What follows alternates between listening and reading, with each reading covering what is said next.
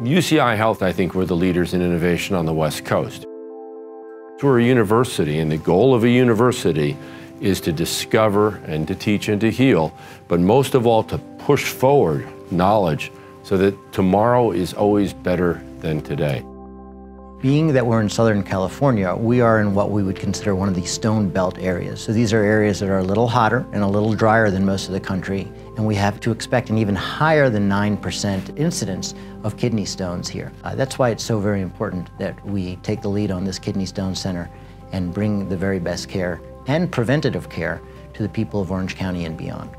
One of the reasons that UCI Health and the Department of Urology have invested so heavily in creating an advanced kidney stone center with the best technology and the best people in the world is because kidney stones are so utterly common. One of the most special aspects of the UCI Kidney Stone Center is the fact that we have a completely dedicated suite for kidney stone management.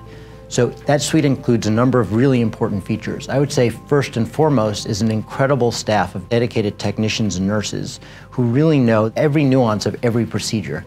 And what that means is that combined with great docs and a great team, patients are going to get some of the most high quality and efficient care possible.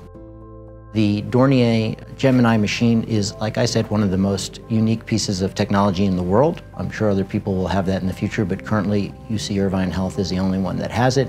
Combine that with Storz technology that allows us to have the best imaging technologies in the world, you have a really special combination that will certainly lead to outstanding outcomes.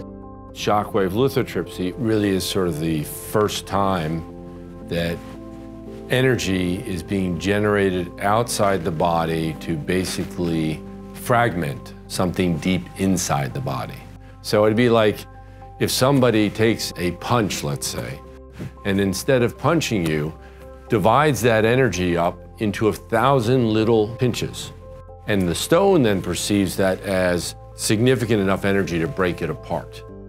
The patient experience with the Dornier Gemini lithotripsy machine is really rather extraordinary. So patients do come in, they require anesthesia in some cases. Some patients we can just do sedation, so we make people sleepy and they're partially awake. The machine does not enter the body in any way. We simply attach the machine to the body, we target the stone, and largely we can do this with ultrasound, which means that patients have very little exposure to radiation, which is what most traditional machines used, another huge advantage.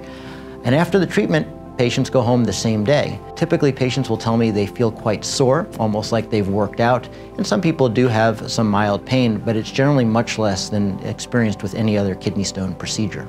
There's nowhere else in the world where you can go to get a better care, and this is a comprehensive plan that includes proper preoperative management, really the right surgery chosen and done by the right person, and then follow-up that'll include prevention so that the chances of having to have a future procedure are truly minimized.